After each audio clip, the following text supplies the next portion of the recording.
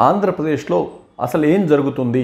ఎన్నికల వ్యూహకర్త ప్రశాంత్ కిషోర్ నిన్న చంద్రబాబు నాయుడుతో సమావేశమయ్యారు. నేడు నారా లోకేష్కి వైఎస్ షర్మిల ఓ గిఫ్ట్ పంపించారు. వీటి వెనుకున్నటువంటి వ్యూహం ఏంటి ఒక పక్క రెండు వేల పంతొమ్మిది ఎన్నికల్లో వైఎస్ఆర్ కాంగ్రెస్ పార్టీ కోసం ప్రశాంత్ కిషోర్ పనిచేశారు.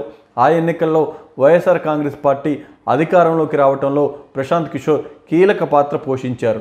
ఆయన సిద్ధం చేసినటువంటి వ్యూహాల ద్వారానే జగన్మోహన్ రెడ్డి అధికారంలోకి వచ్చాడు. ఎప్పుడూ లేని విధంగా వైఎస్ఆర్ కాంగ్రెస్ పార్టీ ఆ స్థాయిలో విజయాన్ని సొంతం చేసుకుందంటూ కూడా దేశవ్యాప్తంగా జరిగినటువంటి చర్చ.